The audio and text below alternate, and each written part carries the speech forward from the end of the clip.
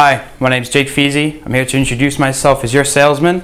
Just to let you know our production team has made this video especially for you. I hope you like it.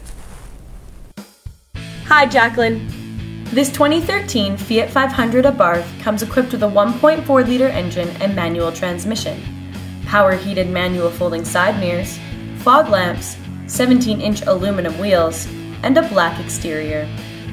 Some of the features include power locks and windows, steering wheel mounted audio controls with cruise control, a media center with AM and FM radio, Sirius satellite radio, Blue and Me hands-free communication system, an MP3 input jack, a USB port, a 12 volt power outlet, a powered sunroof, and a premium Beats audio system.